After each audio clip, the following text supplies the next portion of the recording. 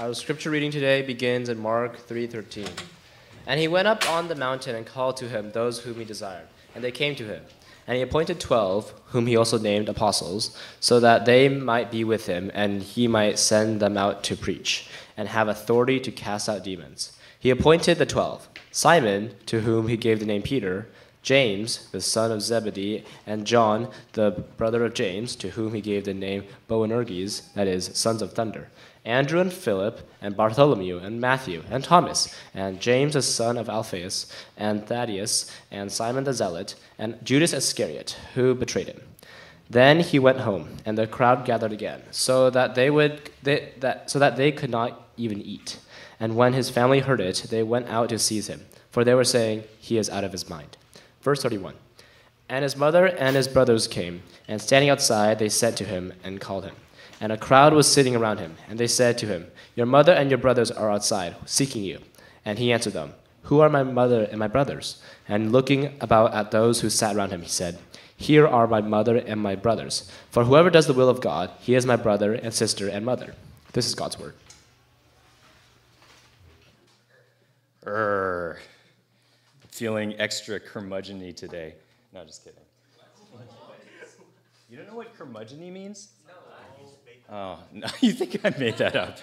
Uh, that makes me even more curmudgeon That kids don't even know what curmudgeon means. Okay, okay, okay. Curmudgeon definition.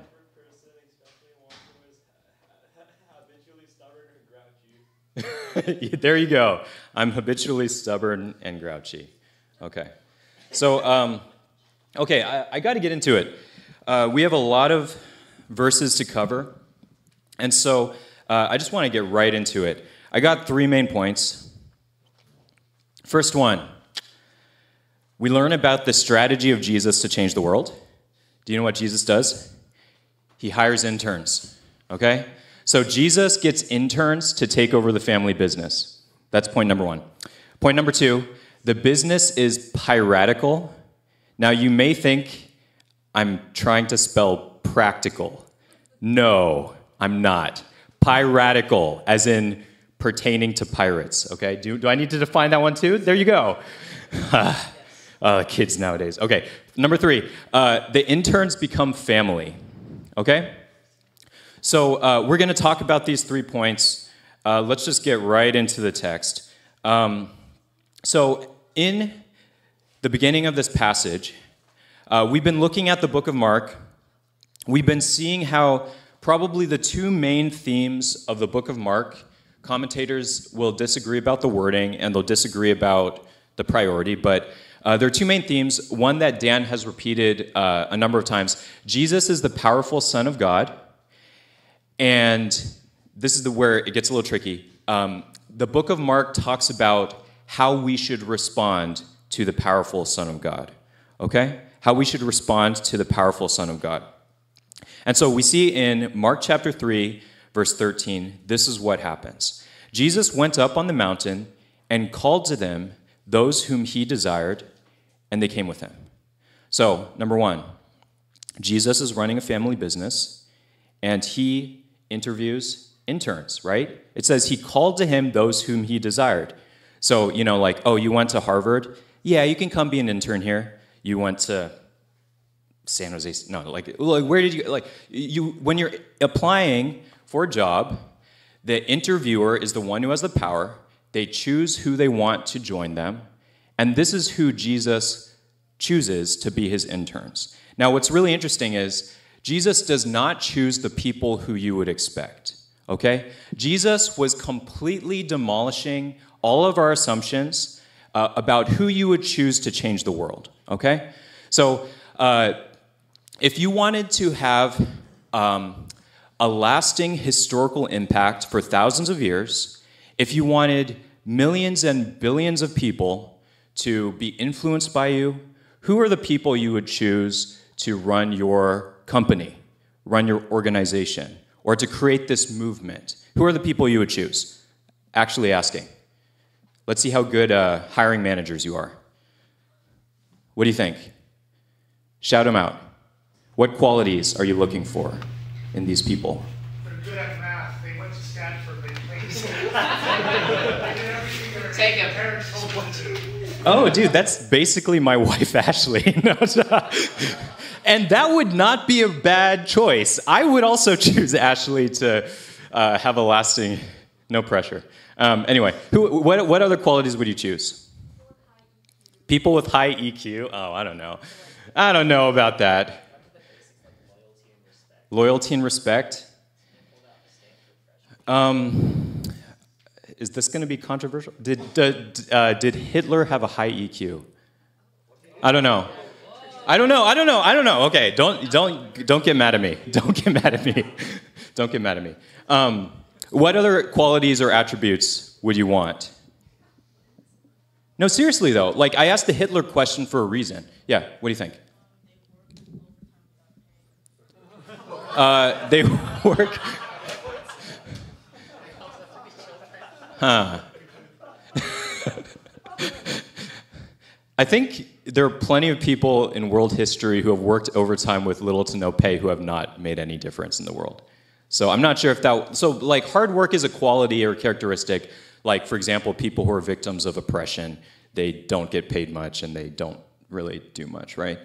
Uh, if you were choosing people who would make a big impact, I think you would choose people. Okay, if you were me, you would choose people who are extraordinarily charismatic and confident. Uh, intelligence is a big deal. Um, one of my favorite examples of this is Winston Churchill. Okay, so if anyone knows about who Winston Churchill is, um, you know, like he gave inspirational speeches about fighting Hitler. Uh, but one of the interesting factoids I learned about him was when he was a high schooler, he turned to his friends and he said, One day I will be the Prime Minister of Britain. And so he became like an admiral. He made horrendous military mistakes. Uh, he was in his, like, what, 50s or 60s or something, but eventually he actually pulled it off. And so this is like a really interesting fact about Winston Churchill, where I'm like, who in the world not only wants to be prime minister, but is like, I'm gonna call my shot and predict that I will be prime minister, and then you actually go and do it. This is like, how many of you wanna be president? How many of you wanna be president of the United States? Number one, most of us, slash all of us, are Asian, so we would never presume to want something so big, you know? no, no, we're never going to want to be president. We need a different um, race to do that. But uh, anyway, so you would never presume that, but it's also like, who actually does that? But there are people in history who are generally extremely powerful. It's like they're these legendary figures. It feels like they've been touched by a deity, and they're so powerful, they're so influential. Alexander the Great, these are powerful, violent people they're charismatic, they're intelligent, they're military geniuses. These are the people who make a big difference in the world. They're scientists. When you look at scientists, they do work overtime with very little pay, but they're not always known for having the best EQ. Tammy, and she, it's funny because Tammy actually married one, so does, does Justin have a high? um, anyway, so, oh, he's right there. Oh, shoot. um, sorry, Justin. Okay, so who does Jesus choose? Uh, Jesus chooses tax collectors. So these were like social pariahs. Uh, they were hated. They were Benedict Arnolds. They were traitors to the cause. They had the wrong politics. They were betraying their people group. They were cheating people and swindling them. He chose fishermen who did not go to Stanford, were they good at math? I don't know. Matthew, the tax collector, was probably good at math, so someone was right in that regard.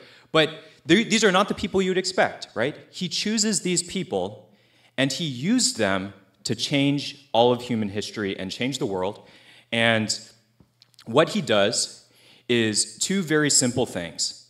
And so when we look at these things, when we look at the way Jesus chooses interns, and how he goes about training and equipping them, I think we learn something so important about what it means to be, uh, I'll say Christian, but what I really mean is to be a disciple or apprentice of Jesus. Um, uh, I look at uh, data every once in a while, and there was a survey that came out in, I think, 2023 about the state of Christianity in America. So this survey said something like 63 or 64% of Americans identify themselves as Christian, right? 63 to 64%. Uh, many surveys show that that number is dropping uh, over time. And then there was another question that um, a, a survey asked, which was how many Americans would identify themselves as disciples of Jesus? Uh, what do you think the number was? 63 or 64% of people say they're Christian. How many people think they're disciples? 1%? Some, someone said 4%. 4%.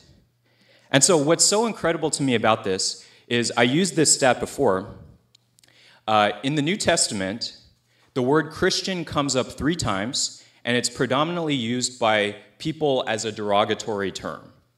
So it's not used by people who are Christian, it's used by people who are making fun of Christians. Instead, over and over again throughout the New Testament, almost 270 times, the word disciple comes up. And so when I was talking about interns, uh, what, what is an intern? When you hire an intern, what is your intention behind hiring them? Can anyone think about what an intern is supposed to do? To do to, to, get coffee to do the work. Okay you guys are being very cynical. Um, let me let me one up your cynicism by giving you a peek into a family conversation i had at mother's day last night. Uh, so my sister-in-law sarah who i thought she was going to be here but she's not yet. She, she, she might walk in later. Um, she was talking about how at her company, Microsoft, they are hiring a lot of interns for the summer. So they're going to be like eight interns joining her team. And I said to her, okay, so um, what do you use interns for? Like, what do they do? And she basically said, we give them whatever half baked projects uh, we can to keep them busy so they won't distract me from the actual work. That is like literally what she said, okay? And so then my father in law, who is like a higher up at a, at a, a semiconductor company, um, he, he says, Yeah, yeah, that's basically what I would do too. But if they were initiative taking and they asked me questions, I would want to like talk to them and help them out. And then he said, Every once in a while, one of the interns will stick and we want to hire them and give them a job, but it very rarely happens. So now, um, it, this is what I would say, this is my impression of what getting an intern is like. So this is my definition. Interns, you give them whatever half-baked projects to keep them busy so they don't distract you from doing the real work, with the hope they'll eventually be able to be useful enough to give half-baked projects to the next crop of interns. Okay? So you actually want to get your interns to become uh, productive members of society in the company so that they can deal with the interns next time so you don't have to. But the idea is they have to know enough and be able to do enough real work so that they actually can contribute. And so when Jesus is calling these people, what does he say about them? He calls to the people those he desired who had the qualifications that he wants, which in this case is very bizarre. He chooses uneducated, poor people, tax collectors, Benedict Arnolds, and these are the people he wants to take on the family business. And they come to him. And he appointed 12, whom he also named apostles, so that they might be with him and he might send them out to preach and have authority to cast out demons. So there are two fundamental things that Jesus calls the disciples to do. And this is actually a picture of what it means to be not a Christian, but a disciple. Every single disciple, every, like every single Christian should be a disciple. A Christian is not like, disciples are not people who are like on the next level of Christianity. Everything that Jesus says in all of the New Testament Gospels is he is assuming that you will become a disciple, which means you will be an apprentice. And so, an apprentice or an intern is someone who spends time with their software engineer manager, and they look at what they do, and then they take on the half baked projects, and then they ask the manager for help, and they try to learn and develop skills and be taught by the master so that they can become like the master. And so uh, there are three ingredients you need. Uh, this is from a book. Oh, man, okay. This is fun. Okay, so uh, since I'm a preacher, uh, I normally throw a book at you, the Bible, but in this case, I will throw a different book at you in case you're interested in learning about this. Um, so, this is a book by a, by a guy named John Mark Comer called Practicing the Way.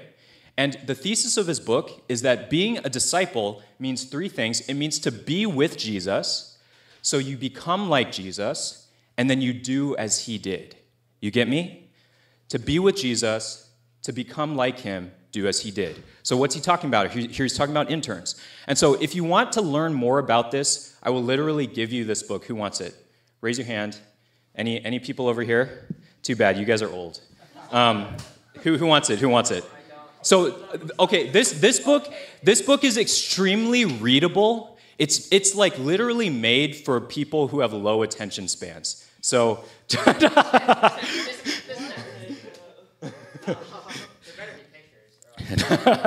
uh, are there pictures? I don't know. Wait, wait. Oh, sorry, I should have asked. Are you actually going to read it? Oh, no. Okay, then give it to Daniel. So, Daniel, Daniel, once you're done with it, uh, go find another person to give this book to. So, uh, if you notice, what he's taking, that his thesis there is straight from this passage. He takes people who are um, apostles, which means simply people who are sent out. So they're given a mission by Jesus. And then what he says that they should do is number one, he appointed 12, whom he named apostles, so that they might, number one, be with him. And number two, send them out to preach and have authority to cast out demons. So the first one is about relationship, right? The first one is about communion and presence and intimacy with this master, where if you want to become um, a practicing, if you want to like become a like a yoga practitioner, what some people do is they go to India and they follow around a guru for a, a, given period of time. And so you have stories of people who come from the West and they go to uh, India and they follow around a guru from a year for a year, like literally a year. They just go wherever they go. They watch what they do. They learn their practices. They ask for help and instruction. They try to learn. And so everyone would have known this is what Jesus was doing. He's saying, if you want to be my disciple, I'm going to choose you. I'm going to choose the people people don't expect me to choose. And then I'm going to invite them to live life with me, to constantly be around me, and get to know me, and be influenced by me, and see my character, see my attributes, see what I'm like, with the hope that over time they would become like him and then do as he did. So they might be with him, and he might send them out to preach and to have authority to cast out demons. So, two things here. Uh, Jesus, when he came, he came preaching and casting out demons. And we've seen this in the book of Mark.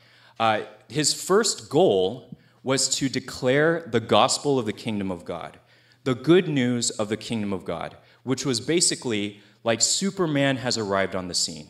Jesus is God, Jesus is man. He has come to set captives free, to heal people who are sick, and then number two, to cast out demons, which is he is exerting power over dark supernatural forces that oppress and destroy and ruin people's lives. And so, Jesus, the very first miracle he did in the Gospel of Mark was what? Casting out a demon. And so, what Jesus is saying here is, I want you to be my interns.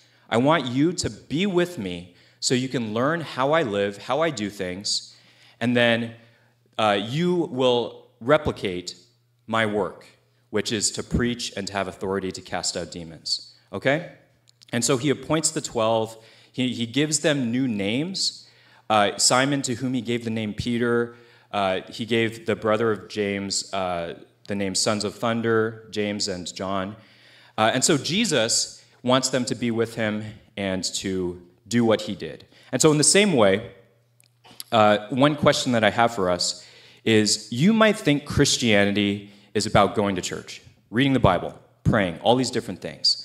But at its very core, um, the actions of Christianity are to be with Jesus and to become like him and to do what he did through an apprenticeship or discipleship or internship relationship.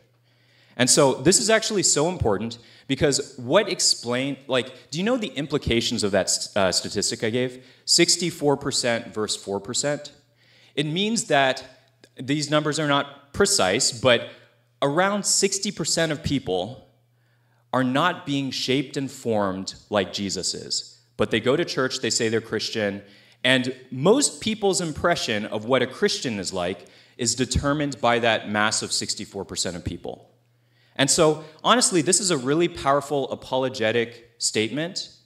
Um, I really believe that one of the reasons we see hypocrisy, judgmentalism, um, scandal within the church is because people are so busy trying to do stuff for Jesus, like political campaigns or whatever it might be, even activism, whatever it might be.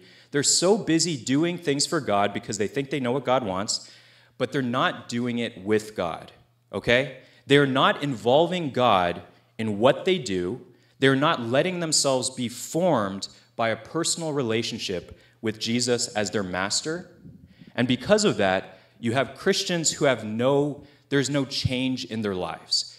There are people who say they're Christian, but they're constantly angry or lustful or deceive people. They lie, they steal, uh, they commit adultery, they do all these different things. And it's because they are not actually joining Jesus in the way he asked us to, which is to become my disciple. He says, Become my disciple, which means I'd spend all of my time. I have new priorities.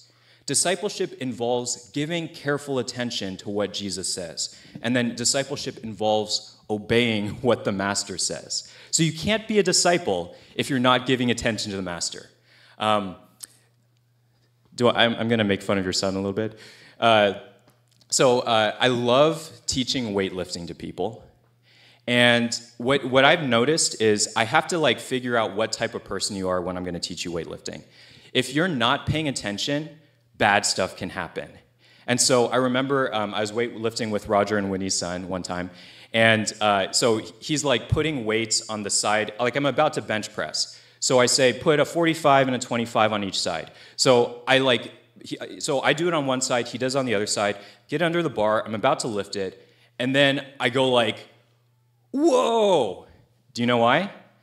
He did not listen to me. He put totally different weights on one side than I put on the other, which is very, very bad. Like, that's very, very dangerous. And so I had to impress upon him the importance of paying attention when I tell you what weights to put on.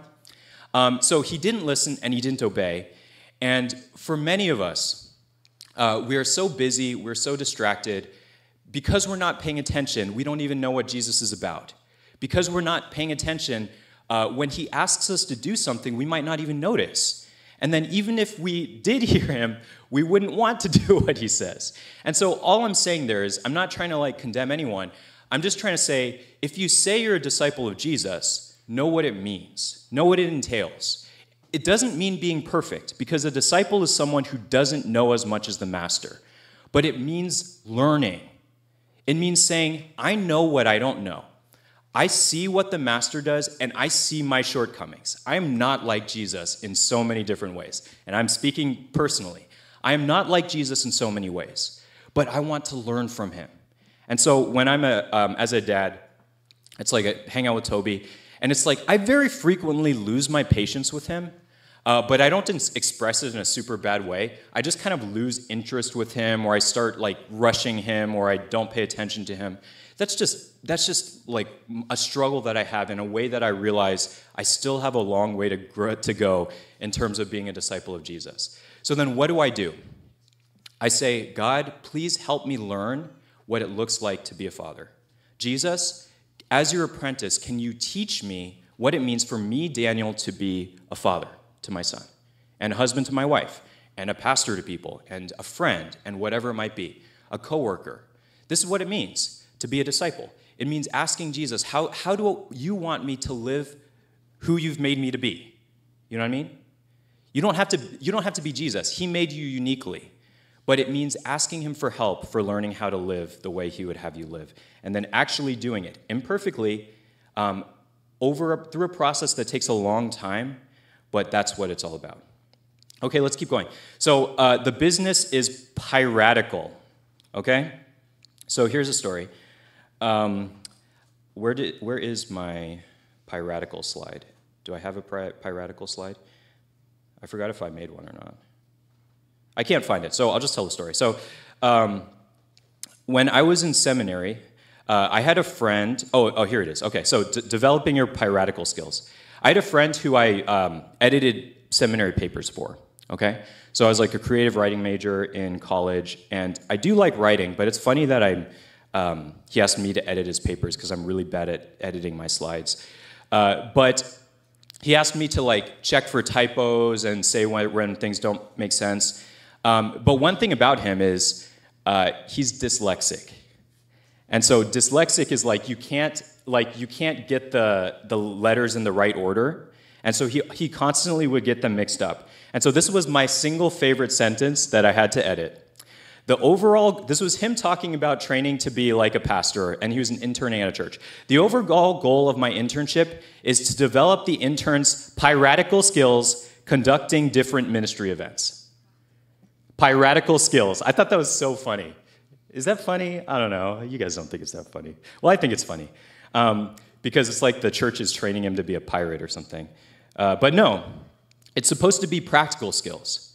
But when Jesus interacts with the scribes, what you learn is piratical is actually not that far off. So let's see, let's see where we get that. This is 22 through 23. I'm kind of going to kind of zip through this section.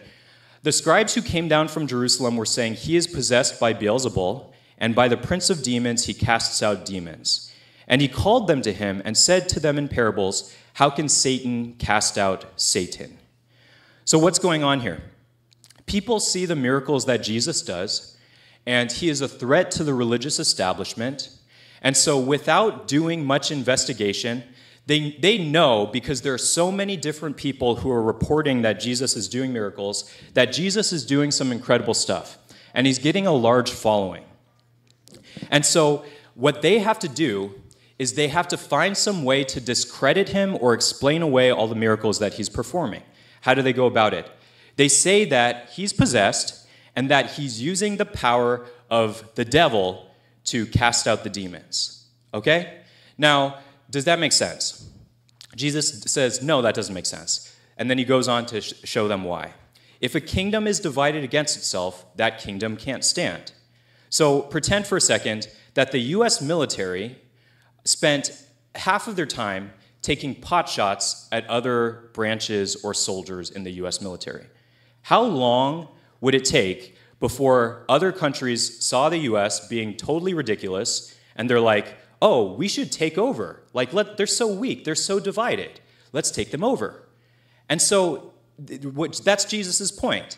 If the devil is giving Jesus power to cast out demons, then the devil is divided against himself. Why would the devil want to do something that helps a person? Why would the devil want to defeat his lackeys? It doesn't make any sense. If a house is divided against itself, that house will not be able to stand. If Satan has risen up against himself and is divided, he cannot stand, but is coming to an end. And this is where we get what business, what family business Jesus is about. But no one can enter a strong man's house and plunder his goods unless he first binds the strong man. Then indeed he may plunder what do pirates do? They plunder. Piratical? uh, okay. Yeah, thank you for who clapped? Thank you. Thank you. Oh, thank you. Thank you so much, Zoe. Um, it's, it's, it's rough, right? It's a stretch, but that's fine. Uh, the whole point is Jesus is about plundering the work of the devil. Jesus is about taking the influence that the devil has over the world, which is tremendous, and he is about destroying it. And he's about healing people and saving people. And so, this is where the whole work of Jesus had to do with freeing people from addiction, from slavery to demon possession, mental health issues, physical health issues, freeing us all from our deepest disease, which is the disease of sin and death, um, and reconciling us to God. And so, when Jesus is forming interns to take over the family business, he is saying to you, and he is saying to you all, if you are a disciple of Jesus, I want you to participate in my mission to plunder the work of the devil. Now, that sounds really weird and spiritual to many people, so let me make it more real. Now, what I said was real, but let me make it more accessible. Um, if you had the ability to help your friends who are suffering from deep depression or mental health issues, would you want the ability to do that? Would you want to do that? Even if it caused you great distress or there was a great cost to yourself? I think many of you would say, like, absolutely, I would do that. Absolutely, I want to do that. And this is what Jesus is saying. Jesus is saying there's some issues, there's some people who need this incredible amount of help to be delivered from these issues that plague them, these intractable problems that they have in their life. And as your master, I have healed so many people, I can show you how to do that same thing. And this may seem like hot air to some of you if you haven't like if you haven't actually seen what happens in churches or maybe your impression of churches is colored by what people say from the outside. But what's so cool to me is in our churches, we basically see slow motion miracles taking place over years all the time. You get me? We say we see slow motion miracles. A miracle happens like bam, right? But what happens in our church is people are healed and set free. I see youth who are depressed, who are like anxious, like they're different. They change, they grow. I see parents and adults who have real problems with loving their kids, or they put so much pressure on their kids to perform or achieve. And then by encountering the grace and love of God for them, they are changed and they parent their kids in different ways. I've seen this happen in our church. I believe this has happened in my life. I believe this is all through what Jesus does and is doing.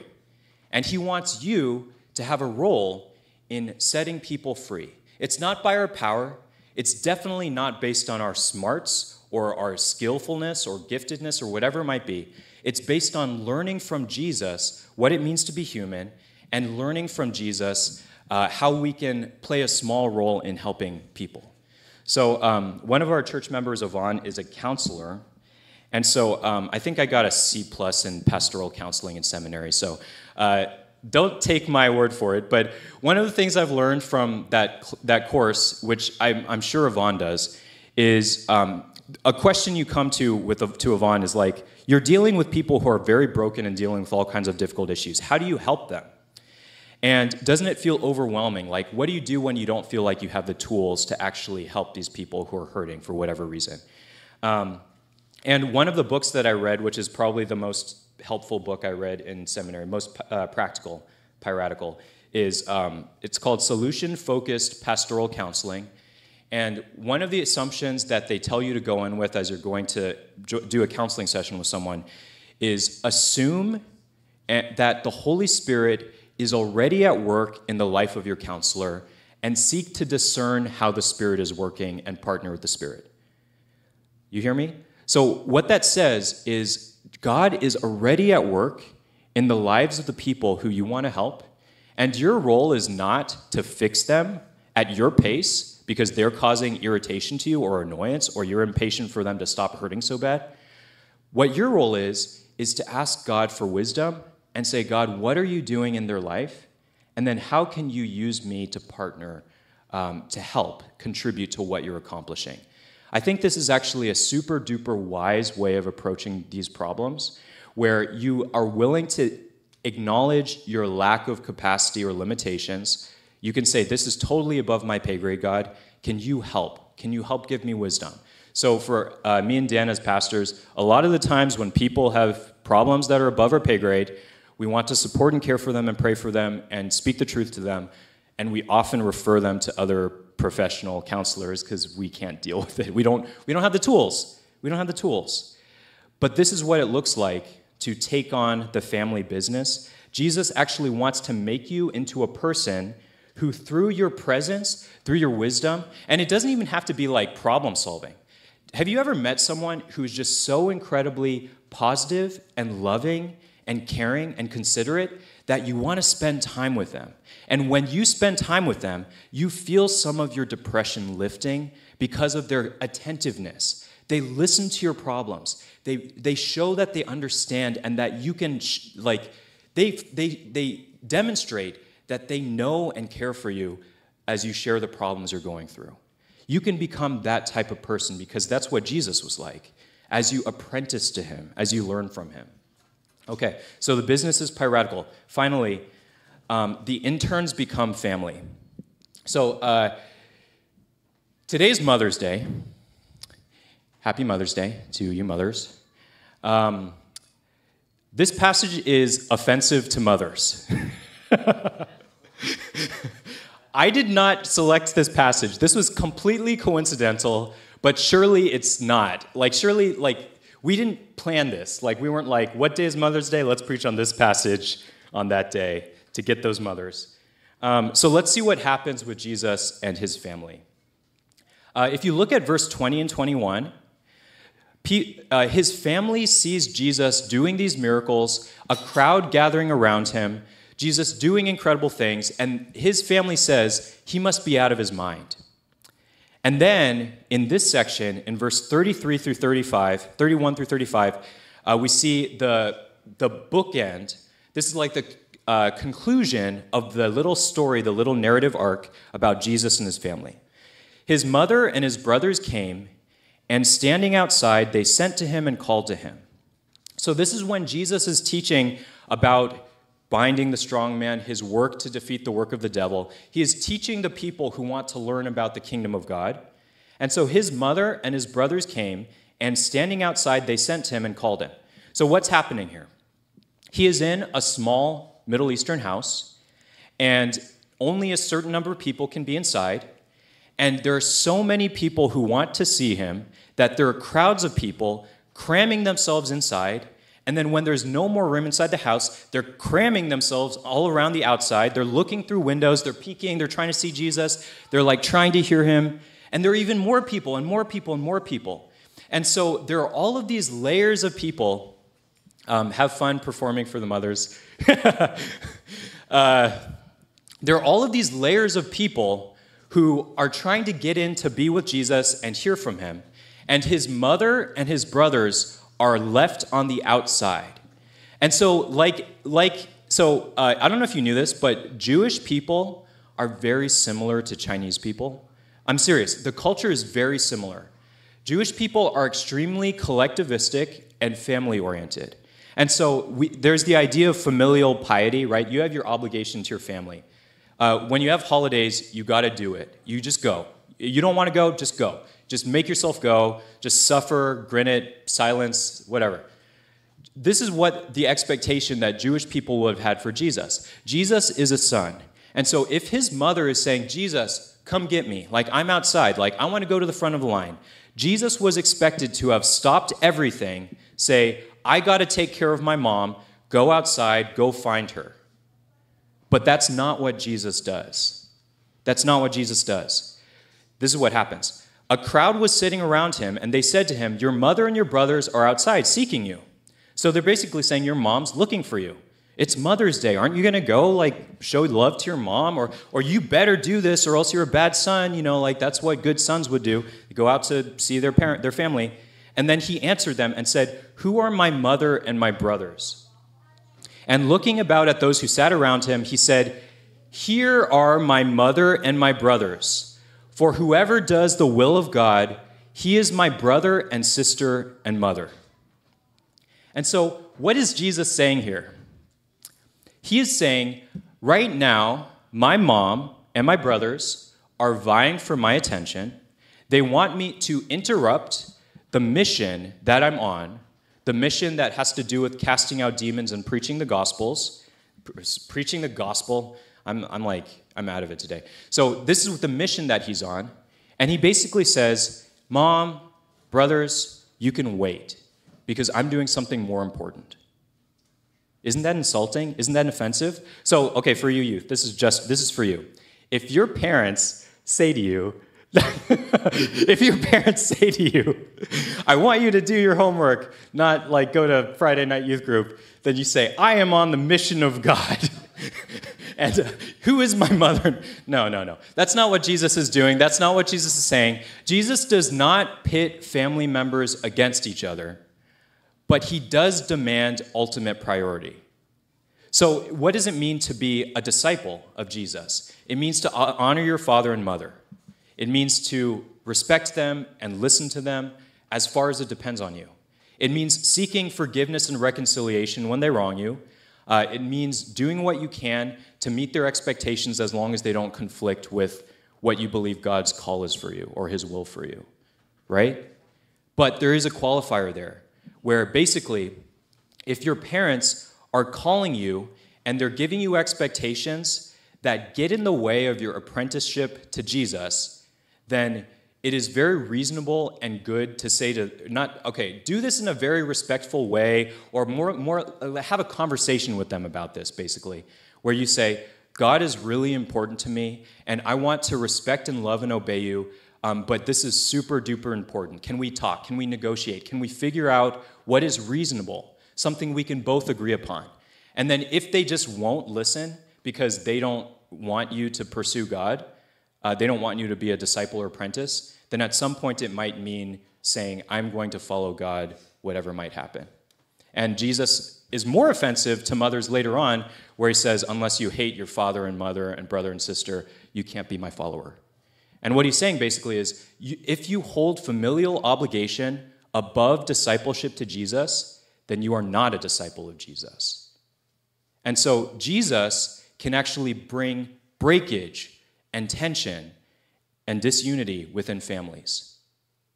At the same time, Jesus can heal and fix fractured relationships in family. And so let me try to make this a little bit practical when there's disagreements. Uh, okay, so let me look from first from the example from the perspective of youth.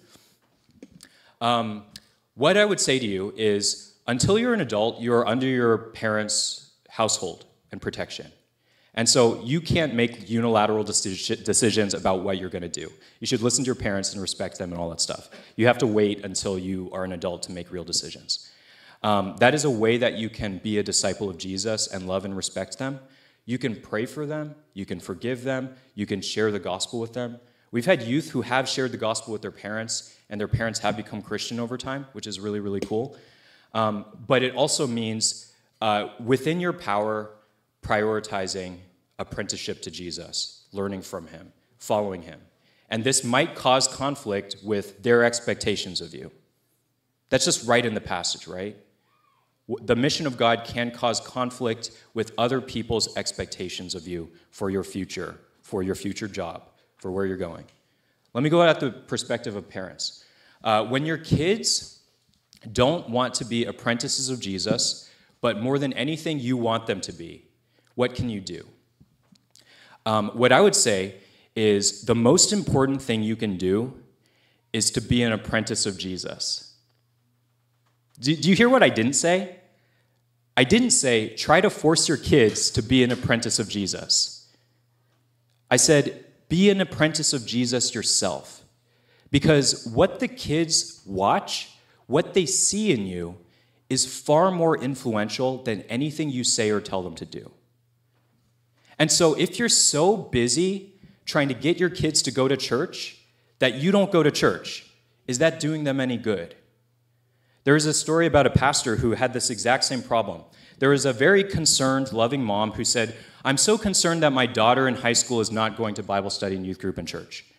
Uh, what can I do about it? So they talked to the pastor. And the pastor said, uh, So are you going to adult Bible study? Are you making an effort to show up to these different events? And the parent said, uh, No, I'm too busy. I have all these different things going on, my responsibilities at work. And at that moment, they both knew at the same time why does your daughter not have any interest in Bible study? Because she is following the example that you've set for her. And so this is actually really crazy. Um, there's a book by a rabbi named, Fail, uh, oh my gosh, I'm blanking on the name. Um, it's called Failure of Nerve. I'll probably remember the name in a little bit. But he basically says uh, the most important thing you can do in family dynamics, you can't control the other people in your family. If you try to do that, you'll just wreck the relationship. What you can do is pursue your values. The things that you think are really important, you should go after them with all your might. And then that is the way that you can actually have an influence on other people. But notice, this is a non coercive, non anxious influence, where you're not trying to control them. You let them be themselves and you go after what's important to you to be an apprentice or a disciple of Jesus. I think that's a picture of what it looks like. And then uh, what we see next about Jesus and this statement. This is so funny. Um, in the middle of. Uh, I, the, okay, I'm, gonna, I'm just going to keep going. So the world is full of voices vying for your attention. These voices can pull you away from the work of God. Uh, Jesus encourages those who seek him to sit at his feet and listen. So Jesus here is subverting his familial duty to show that his family transcends blood. Let me give, you, give one more thing that I would like um, the older group to do. So, uh, so let me get into some, some kind of practical, practical stuff. Um, for youth, you guys are awesome. Seriously, just come as much as you want, learn, uh, try to figure out whether there is actually something to church and Christians, honestly. You can say, like, let me look at the people at church, let me look at my, my parents and their friends and all these other people. Is there something going on here or is there nothing? If there's nothing, then I don't know, don't go to church. Like, you can rediscover, God will keep seeking you, but you can, uh, you can kind of just make a judgment about it. Um, if you are older, uh, if you're a parent, here's one thing I would say. What Jesus is saying is that whoever does the will of God is his family. And this means that being a Christian is a familial bond that transcends blood. You are not obligated only to your bloodline, you are obligated to some degree to the whole family of God. And this is so incredibly important. This means that Sunday is family time. Why do you go to church? You go to church because you want to be together with your family and you want to encourage and support them. You want to be there for them. You want to be an example for them. And so if you say, I'm too busy for this, this is the message that's going to be communicated, right? Um, and so, first, be an apprentice to Jesus and a model, which means making room and dedicating your attention and obedience to what God is saying to you personally before you care about what you know is right for your kids. Uh, the final thing I would say is this is something that, again, the, the data shows. One of the most important things older Christians, like young adults, like Derek is a youth counselor, Sarah and Sabrina and some other people, they all help out with youth group. One of the most important things that kids who are trying to understand who God is can have in their life is a non-parental adult who is a believer who can they can actually ask their real questions to. So you are not going to ask your parents about sex or about like any of these other kind of issues that you have, but you can ask youth counselors about this. Okay, you can ask Dan about this, a non parental adult who you can actually be real with, right? And so, this is why it's so important that all of the adults and all of the parents look at the different people in the church and they don't say, I'm going to take care of my family. I'm going to prioritize my family. Instead, they can say, turn to someone next to you, look at them right now, and say, You are my brother, my mother, my sister, my father, whatever it might be. Once you understand this truth, it completely changes the way that church operates and the way what church means. It means I am not coming here just for myself, I'm coming here for my family, and I want to make time for my family. And it means taking your um, priority simply off of your blood family and also giving it to other people. So, one example of this, I think Ashley is really cool, my wife. Um, happy Mother's Day. So, when Ashley, uh, when Ashley started renovating the nursery, our church nursery, she said a lot of the reason for that was because our church nursery was in bad shape and she wanted Toby to have a good place to be in. But over time, as she worked on it and as she coordinated the nursery volunteers, we got to know a lot of the other moms on the Chinese side who have young kids. And so before, Ashley was only caring about Toby, but we've come to meet a bunch of the other kids like Austin, little Daniel, and their moms. And she's been doing a really great job at showing care for the other moms and showing care for the other kids, where it's like they are not her son, but in one sense, they are her children, and she wants to care for them and love them. And so here's a challenge for you. For you youth, use the older people as resources, ask them questions, talk to them. Ask them specifically, if you want to be a disciple of Jesus, what was it like for you to learn from Jesus? What, ha- what difference has Jesus' teaching made for your life? And you will have some really interesting conversations with your parents if you ask them that question. And then you also will be able to te- de- basically detect BS. Um, for, you, for adults, same thing.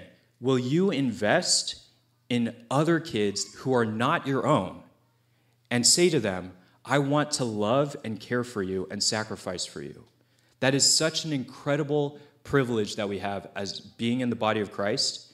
And it is opening up your love to more people, which is always what the love of Jesus and the love of God is about. Um, finally, when Jesus was saying he commits to his family, whoever does the will of God, there is father and brother and mother and sister. What he's saying is, um, You are my family, and I'm willing to give everything for you. And so, what he's saying is, if you are a Christian and you put, you put your faith in him, Jesus was willing to die for you. Some people who are good family members might be willing to die for their family, but they are not willing to die for strangers. Jesus sees other people, the whole world, as his family, and he was willing to give everything to die for them so that they could become adopted and become part of God's family. That's how much he loves you. This is what Jesus is about. Uh, this is what it means to be a disciple.